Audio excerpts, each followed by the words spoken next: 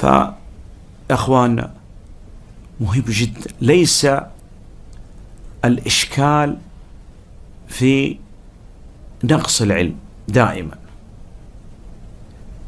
الإشكال في أن تفهم النصوص تفقه النصوص.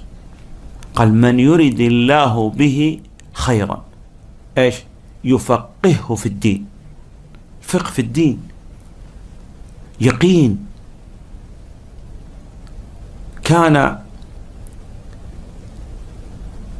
الرجل ينشر بالمناشير ولا يرجع عن دينه.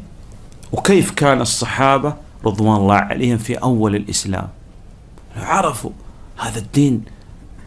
قال هرقل لأبي سفيان رضي الله عنه قال هل يرتد أحد منهم عن دينه؟ في أحد يرتد من أتباع محمد صلى الله عليه وسلم؟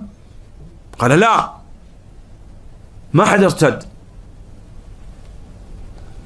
قال وذاك الإسلام إذا خالطت بشاشته القلوب إذا دخل خلاص انتهى الأمر.